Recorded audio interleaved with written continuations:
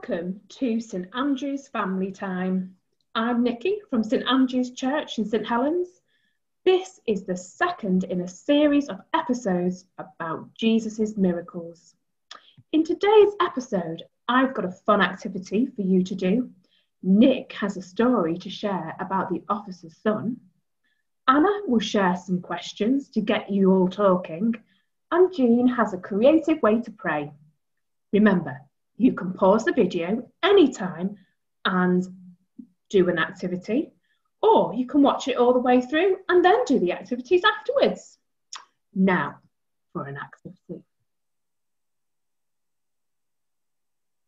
Now, you'll discover in today's story that Jesus healed an officer's son, and he did it without touching him. And we're going to set you a challenge now to see if you can get an object from one side of the room to the other without touching it. Hmm, here. How do we do that? I hear you say. Well, if you get a ball or a teddy, or I've got a fluffy hedgehog here that's like a ball or a balloon, you could perhaps try um, balancing it on your head like this you might try on your own, or you might try working together as a team.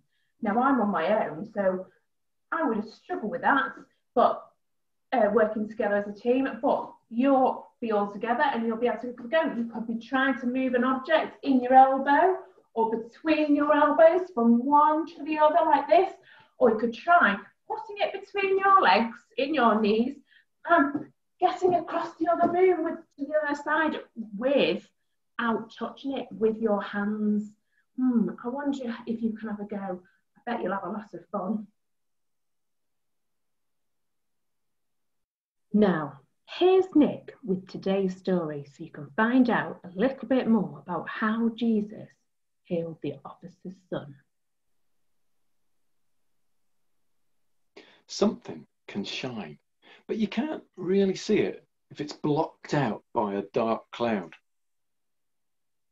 Something can shine, but you can't see it if your eyes are shut. Something can shine, but you can't really see anything if it's as bright as the midday sun. Today's story is from John's Gospel. And John tells us that in Jesus, God became a human being and lived on earth. In Jesus, God bathed the world in kindness and truth. In Jesus, God's glory shone brightly, but it didn't blind us. John's gospel tells us about the miracles Jesus did so people would know what God is like. John's gospel tells us about the miracles Jesus did so people would believe and trust in him. John's gospel tells us about the miracles Jesus did so people could have life in all its fullness. Now, the miracles Jesus did were like signs. Do you remember the story from last time?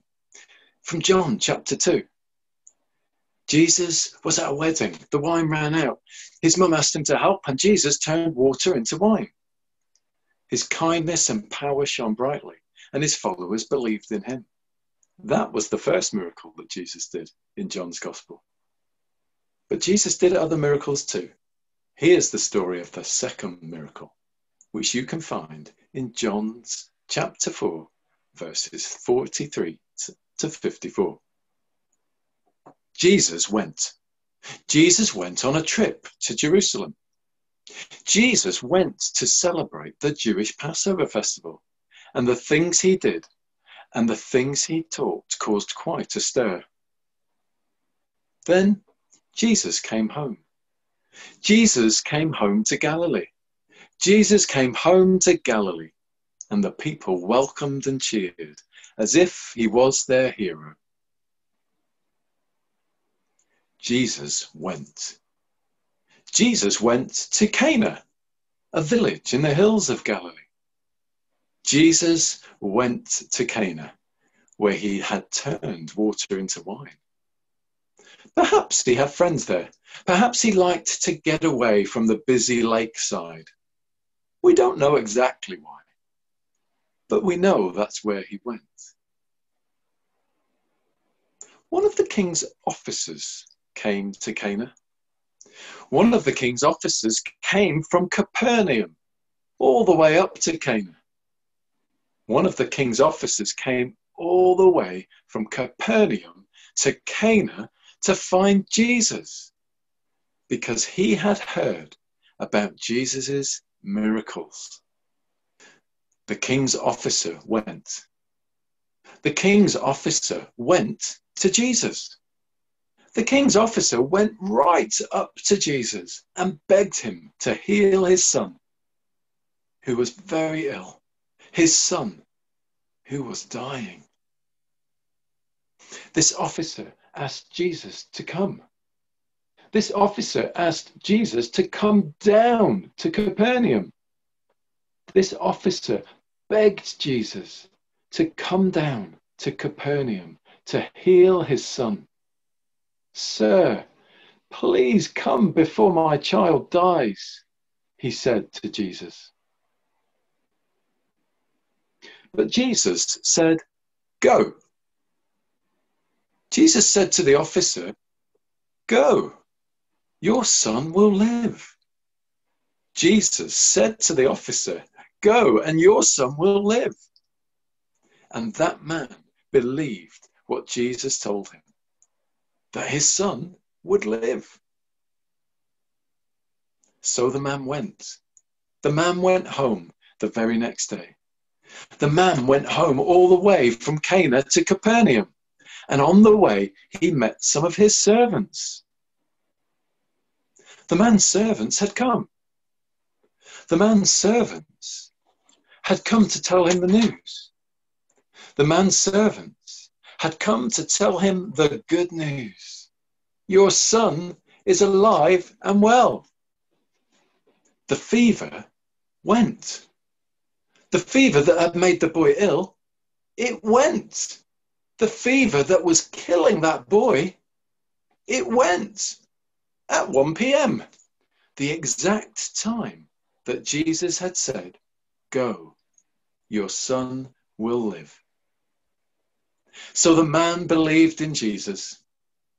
His family believed in Jesus.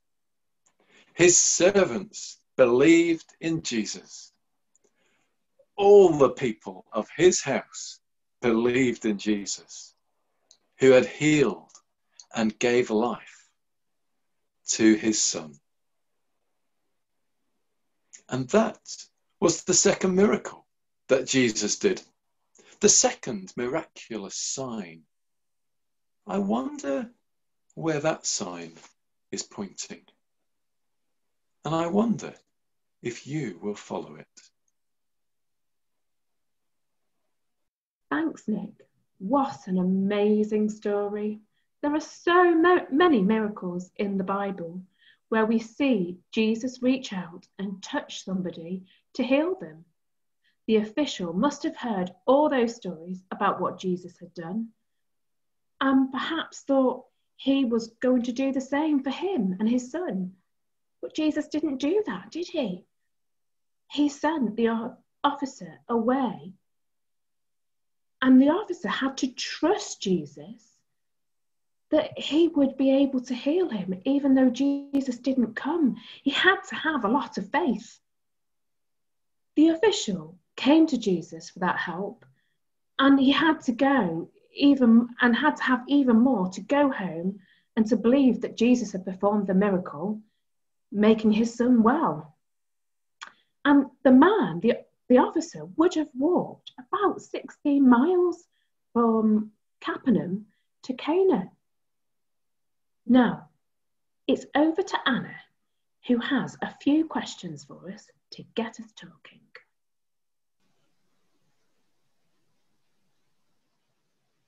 How do you think the official felt when Jesus said, Go, your son will live?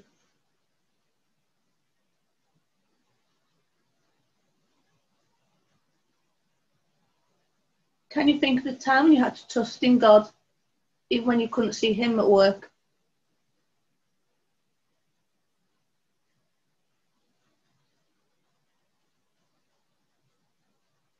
I wonder if there is someone you want to ask Jesus to help or to heal.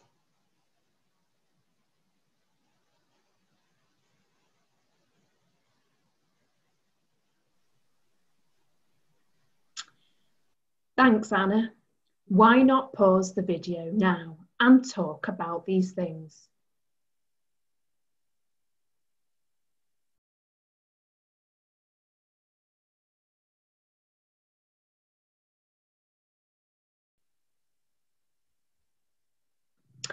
Now over to Jean, who has a creative way for us to pray. We've heard the story of how Jesus healed the official's son. So I'm going to show you a creative prayer heart to remind you to pray for people you know who are sick. Here's mine. Now, you can use either coloured paper or coloured card. And to draw a heart shape, it's often easier to make it symmetrical to fold a piece of paper in half. And I've got one here. So just fold the paper in half. And then if you just draw half a heart shape on it, if you cut it out, is your heart shape. Now, you get a fold down the middle. If you don't want that fold down the middle, you might want to use that as a template and put it on another piece of paper and draw around it and cut it out. If you want to make it another colour underneath like mine, what you would need to do is get another piece of paper, just like you did the other one, fold it in half and then hold your templates that you've already cut out and then draw a bigger half heart shape round it. And then you just stick them together like I've done. I've decorated mine with some sticky uh, circles round and then I've put the words Jesus heals. I've actually wrote mine on white paper and cut it out, but you could just write yours on. Now I've cut some heart shapes out, smaller ones, exactly the same as I did the larger ones. And you could write the name of someone you want to pray for, or you might want to draw a picture of them, or you could put a photograph of them in. Now, I've used these hearts rather than just writing on the heart itself because if the person gets better, I can take it off and then, because I've used double sided sellotape, and then I could stick another heart on for someone else I know. And finally, I've just stuck some ribbon or taped some ribbon at the back so you can hang, hang it up to remind you of the people you want to pray for who are sick. Shall we pray now? Dear God, thank you for the story of the official son, which reminds us that you care for everyone. Help us to have faith and trust in you like the official in the story. Even when we cannot see you at work or when we do not feel you nearby, help us to remember that you can perform miracles. We pray for all those who have family members that are ill at this time.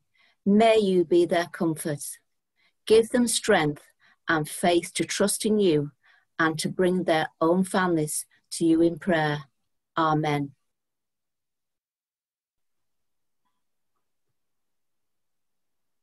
Thanks, Jean. Well, that's all we have time for today.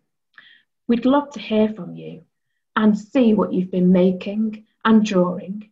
You can message us via the St Andrews Dentons Green Facebook page or post something in one of our WhatsApp groups.